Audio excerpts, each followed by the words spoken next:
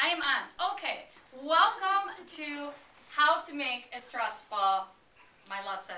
I actually um, created this 15 years ago. I've been making stress balls with kids for 15 years.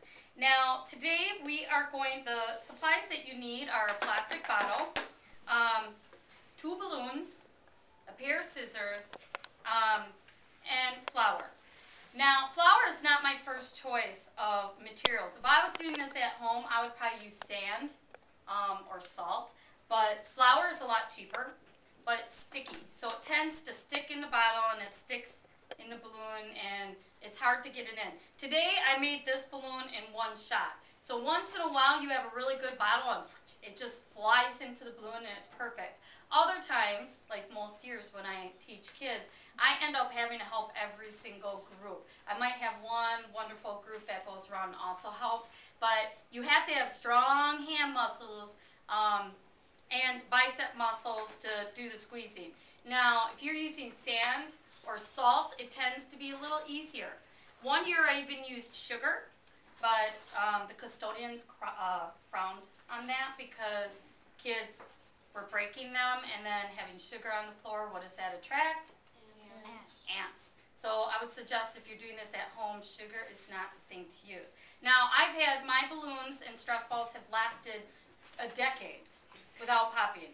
However, kids tend to use the stress ball for things other than just squeezing with your fingers. The idea behind this, if you have anxiety or you're stressed out, for some people just having something in their hands to be able to squeeze can release some of that anxiety. So that's the idea behind a stress ball. Um, generally, I do it with the kids during this unit because it's fun and they like to do it. So we make stress balls. Um, this is a final stress ball. There are this is two balloons with flour inside of it. Now, when you before you begin, you're going to want to use a funnel somehow and get the flour inside the bottle. This is where the sticky flour becomes a mess. I find using a funnel and just taking a pencil to push the flour down into the bottle works pretty good. Um, you would fill the bottle about three quarters way. That would get you about two balloons, maybe even three. Um, this one was already filled from last year still, so I'm just using this one. Um, your two balloons, the bottom one does not need to be cute because no one's going to see it. Um, sometimes if you have a lighter outside balloon, it is better to have a lighter inside because sometimes you can see the bottom balloon from um, inside. So anyways, if you've ever, how many of you guys have made a water balloon before using a faucet? Okay. Have you guys ever had the experience where you put the water, the balloon on the faucet, you turn the faucet on and it sprayed all over the place? Yeah, me too. Um, in the flour in the bottle, same thing. It can spray all over the place. And I've been sprayed just trying to help kids big time by flour. Um, you probably shouldn't wear black, as you can see, um, while you're making your flour balloon, but I don't mind. So the first step is to take it, uh, the balloon, and put it on the tip. You want to make sure that you don't go so far that it's over the final edge of the tip because then when you try to roll the um, balloon off, it can bust and you'll have to start over. But you want it on far enough that it's not going to come flying off. Um, it's very important that you don't fill the whole bottle with flour because you do need a little bit of air pressure because that's what's going to blow the balloon up a little bit and you'll be able to shake the flour in. So instead of going right upside down, although I kind of feel like in this one, see, it's already squirting, um, it would work. I like to start with a little bit of air first. You should hold the balloon on so it doesn't come flying off again. So all you have to do is squeeze the balloon. If you notice, I'll squeeze and it'll come back into the bottle. This is where you have to kind of pump quickly.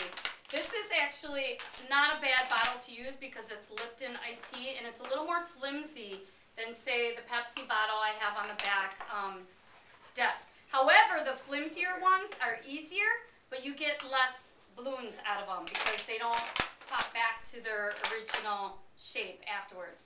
So I have a balloon. It is now filled with flour, but there's a lot of air in there as well. So you do not want to pull this off while it's upside down. You want to make sure your bottle is right side up. You want to squeeze the tip so the flour doesn't come flying. And use your thumb to just roll that balloon off. Now, if I let go of this, it could spray. Should we test it out? Yeah. Yeah. Yeah. Do it. Do it. Do it. You can do it. see it kind of coming out. I won't do that. He has a very nice turquoise shirt on today.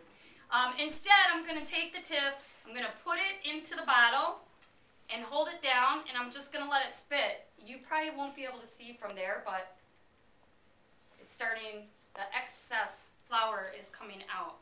Um, I suggest squeezing so you get any of those air pockets out. It's okay if you make a stress ball and there's air pockets. However, when you pull this out, sometimes the flour is all the way up in the tip. What you'll want to do is close the tip and squish it down so all the flour makes a ball, round, somewhat round shape like this. And you want it no air because then it's more squishy. Okay?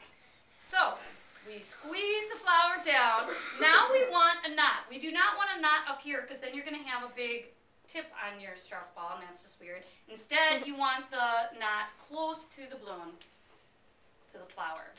So if you've ever tied a balloon, you pull the excess. So my knot is right up at the top. I'm going to cut the tip off and that is the bottom balloon. Now, this is where kids can make a mistake. You have to make sure, you can't just hold it like this and have your partner stick the balloon in there because if it gets caught in this long skinny part, it's going to get stuck. And it's going to tear and rip and you're never going to be able to finish your balloon. Instead, you have to take your fingers way down to the bottom of the balloon, like that. Okay? Can I get a volunteer? Eh, Come on down. Now, this is also a part where kids have problems because this right now is squeezing my fingers. It's really tight. You have to use your muscles to open it up as far as you can, and then your partner puts the tip in there. No, the other side. Yep, the bottom. And they have to really push down. You have to use your knuckles to knead it in. Now, I can probably do this by myself, so if you want, at this point, I would not let go if you have a partner. But since I've done this so many times, I actually know how to use my knuckles, and I just knead the balloon into the top balloon. And you want the tip of the balloon where your knot is to strategically be where you're going to do your next knot. So you don't have a random big bump in your stress ball. So that's all it is. And you tie it again, voila. And see how, if there was air in this balloon, I wouldn't be able to make little squishy shapes with it. It'll still work for a stress ball, but it won't be able to take shapes. You want to check it out? Hey. Oh! Hey.